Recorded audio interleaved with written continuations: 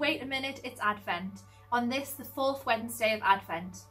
Today we hear from Joshua Nichol from County Durham, radio podcast presenter and theology student at Durham, to share his reflection. Let us pause and pray. In the name of the Father, and of the Son, and of the Holy Spirit. Amen.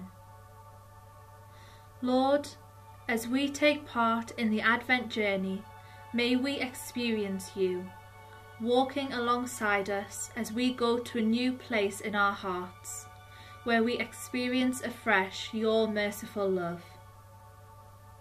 As we journey to the stable, may we have the courage, strength, and determination to walk with others, so together we come to know you more fully and in a new way this Advent. Loving Lord, journey with us today, tomorrow, and always. Amen.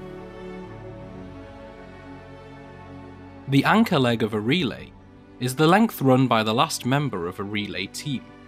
This is usually the fastest or most experienced member of the team. In 2015, Usain Bolt was the anchor for Jamaica, finishing his stretch in 8.65 seconds. That's seriously fast. But perhaps the most important moment in the relay is the moment that the third runner hands over the baton to the anchor. This is what we see in today's Gospel. When Luke tells us of the birth of John the Baptist, he recalls neighbours saying, Surely the hand of the Lord is with him. Today, we hear of John, the runner of the third leg, who prepares the way for Jesus the anchor to receive the baton. Like John, we need to focus on Jesus as we move forward. We anticipate with great excitement today, Christmas Eve Eve. But let's not lose sight of our anchor as we extend our arms ready to turn Advent's final corner to reach the finish line.